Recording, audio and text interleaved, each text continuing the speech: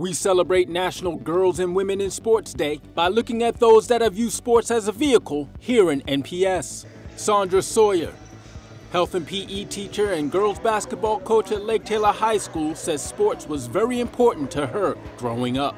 I can relate sport to being my Bible. Like, it was my go-to. And when, you know, didn't have nothing to do, as long as I can bounce a basketball, I mean, even, I, even if I only could just dribble when I couldn't get to a rim, basketball was, it was my, it was my, I was my safe space.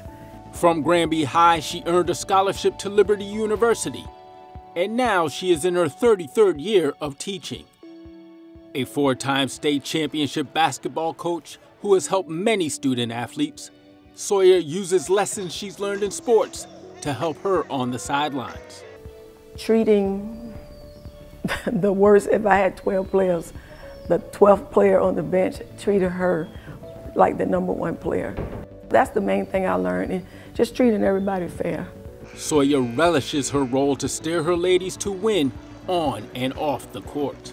Being raised by a single parent, my mom, we, we you know, there was nine of us. I'm the youngest, so we didn't have a lot, but I had a coach and Coach Bert L. Wilson at Granby High School. And I just see myself, you know, doing some of the same things that he did for me and my teammates that I'm doing for the young ladies that God had put me in charge of. So, you know, whatever it may be, I, you know, I'm, I'm the shepherd.